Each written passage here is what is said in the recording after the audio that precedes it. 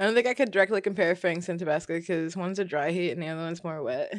I've never really considered that. What do you mean by dry heat? I have both in my fridge right now. I will fucking okay. All right, never mind. I'm out of Tabasco. All I have right now is tap- Tapatio and Red Hot. Here, I'm gonna I'm gonna try both both of these. Red Hot. Okay, I'm tasting the Red Hot right now. It's got like the sour. I think it's pretty wet. Uh, it's like a mild heat on the back of your throat. It doesn't do much to the tongue. It's just kind of sour, a little zingy. But the burn is at like the back of the throat. I'm gonna do the Tapatio now.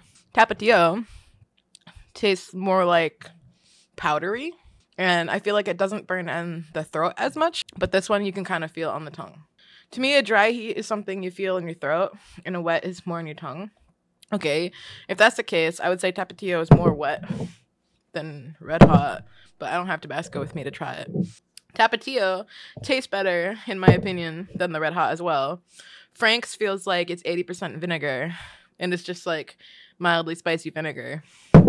Tapatio actually tastes like a hot sauce made from like chili peppers. Learning all these things about hotness that I didn't know before.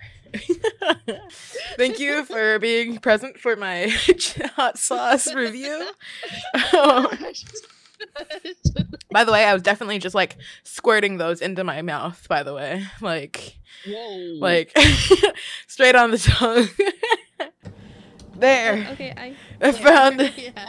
Okay, so anybody who does ten dollars or more on my Patreon will get their name added to the wall of thank. Yeah, it is. I've been streaming for six hours now, and it is like five thirty-six in the morning, so I am gonna get off and eventually make my way to bed.